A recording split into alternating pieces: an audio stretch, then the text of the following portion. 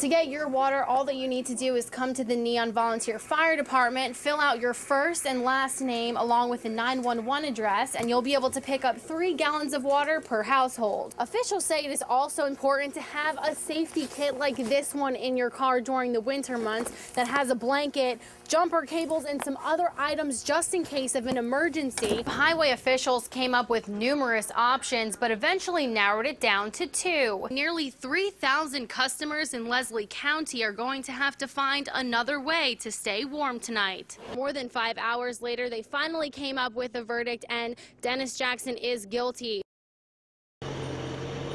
This stuff is hard to come by right now, and everyone who uses the Neon water supply is being affected. This morning I had water when I gotten up, and uh, but it was the pressure was real low.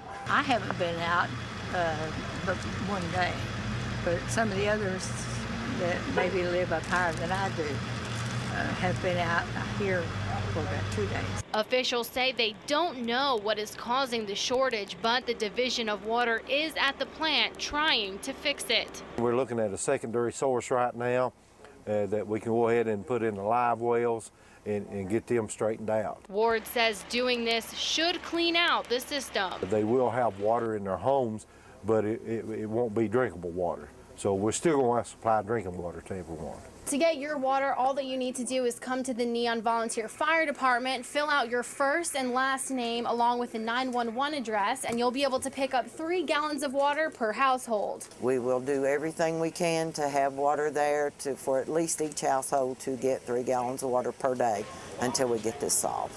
The fire department will continue to give out water to those who need it. Tuesday was the day to bring down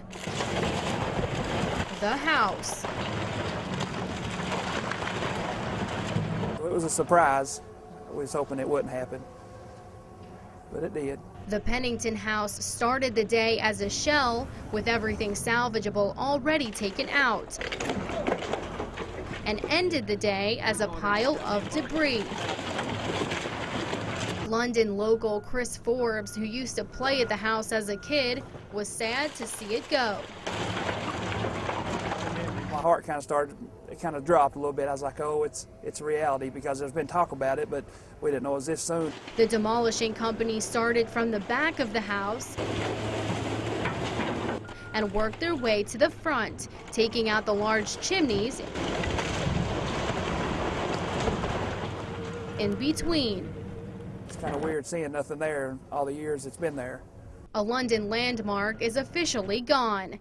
In Laurel County, Samantha Saracino, WYMT 57 Mountain News.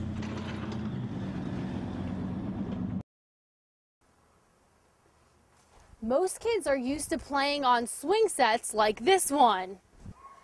But one Breathitt County boy gets to play on this every day. This is Ethan Riley Davis, a pirate lover who now has his very own pirate ship, thanks to the Make-A-Wish Foundation. And whenever he seen it, it was priceless. I mean, his face lit up. He was excited. It was his slides. That's all he worried about was his slides. My boat. It's equipped with a plank, slides, swings, and an indoor hideout. While you wouldn't be able to tell by looking at him, Ethan has a genetic condition called Sanfilippo. There is no treatment, no cure. Most of them only live till they're 13, and um, it causes them eventually to have to be put on um, feeding tubes, wheelchairs, stuff like that.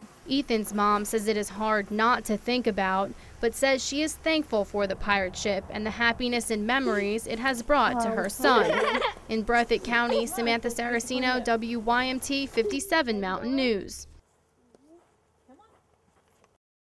This all took place on Friday, and luckily a guard was at the mine when it happened and allegedly caught the three men in the act. The surveillance video was shown here on WYMT, and a short time later, an arrest was made.